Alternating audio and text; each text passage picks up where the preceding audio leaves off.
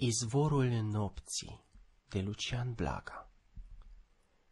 Frumoasă, ți ochii așa de negri încât seara, când stau culcat cu capul în poala ta, îmi pare că ochii tăi adânci sunt izvorul din care tainic curge noaptea peste văi și peste munți și peste șesuri, acoperind pământul cu o mare de întuneric.